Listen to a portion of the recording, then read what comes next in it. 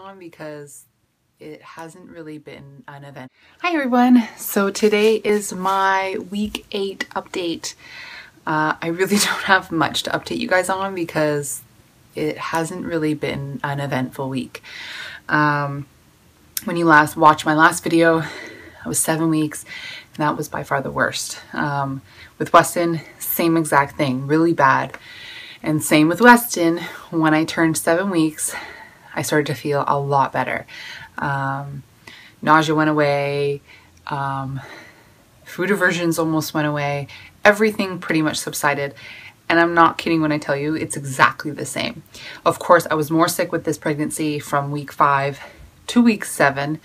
Um, but, and I had a lot more things like the saliva and the burping and going to the bathroom and all that stuff. That was all different from Weston. But I'm not kidding when I tell you, I really don't have any symptoms. Uh, I do get short of breath. That's something that I'm noticing now that is really like when I talk and stuff, I'm like, like I'm really out of breath. Um, so that is definitely like a big one then I guess this week. I get lightheaded very easily from just picking up like toys. Um, even when I'm down there, even like usually you get lightheaded if you're down for a long time and then you get up and you're just like, Woo. I get this even when I'm like down there picking things up. So you guys know I'm a dizzy person. Uh, I have vertigo, so it does obviously affect that, um, or it's easily more affected. So my symptoms have really been this week lightheaded, um, you know, shortness of breath, uh, just doing minor things. Um, I am still a little bit tired. Um, by the time like seven o'clock hits, I'm really just like, what Evan, take Weston, just don't bother me right now. I just want to lay down. Um, I haven't been doing a whole lot of things. I haven't started going to the gym again. I have not went to the gym since the day I found out. And the day I found out was the last day I went to the gym. So I haven't been in a long time, which is so bad. Um, but I just haven't felt up for doing that yet. Uh, I don't know if it's, I hope that I get the energy to do it again, but the only time that I can do it is when Evan's, when Evan is home or on the weekend. And that means I would have to go to the gym at like seven o'clock at night. And I don't want to do that. Like I'm already tired from the day, right? So I don't know. I've been doing walks. Um, of course, this is rainy season for us, so it's not like I can really go out and do much. But when it is nice out, I go for a walk with Weston. When I get back, I am like, I need to lay down. so that's pretty much it. I really don't have a huge update. Um, I do still have brown um, discharge spotting, whatever you want to call it. Uh, most of the time, it's only um, when I like really wipe and try to like see if I have any of it. Uh, but there's only been one day when it was a little bit more like it was kind of like mixed with like regular discharge. I know this is sick to talk about, but if you're watching pregnancy vlogs, you know all this stuff. Um, so that has that it'll increase sometimes and then it'll decrease. Uh, my doctor, I emailed her yesterday and I said, I know what I'm reading says it's completely normal, but I just want to hear from you. You know, is it normal for me to be feeling like this or had to have these feelings accompanied with the fact that I don't, my symptoms have disappeared, which of course they did with Weston.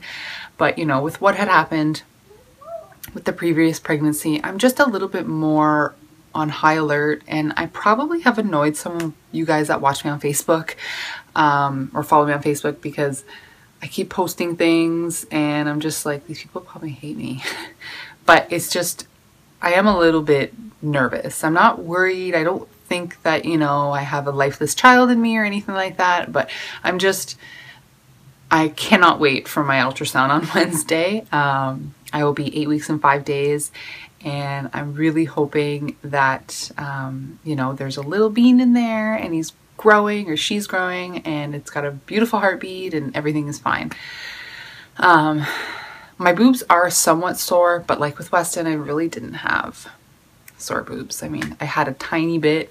Uh, they are definitely more fuller than they were um, before I got pregnant. And that kind of happened around five weeks. I started to get like that. So that's pretty much it. I can't really wear my pre-pregnancy jeans. Um, it sucks. So I'm wearing my, my only maternity pants that I bought. Um, they're the only ones that I have right now that I've been wearing, and I feel almost like I have a belly. Um, I'm, it kind of in the morning I just look like I'm sort of bloated, but not a lot. And then by the end of the day, it's like, are you carrying twins? Like your belly looks huge. so that uh, that won't go away, I'm sure. Like I said, I'm feeling a lot better. Um, sleep is really good. Uh, you know, I do get up like three or four times a night, which is kind of a little bit unusual for me. Usually I get up only once. So of course that's pregnancy related. Um, but besides that, I am doing pretty good. So I just went today to go get blood work done and they take, you know, a lot of urine. They The girl wanted me to fill up the tube, like the bottle that they give you. She's like, fill this up to the top if you can. And I'm like, are you serious? I don't think I can fill it. But of course, when you're pregnant, you gotta pee like a thousand times more. Uh, so that's pretty much it. Um, I hope you guys uh, have a wonderful weekend and I will talk to you soon. Bye.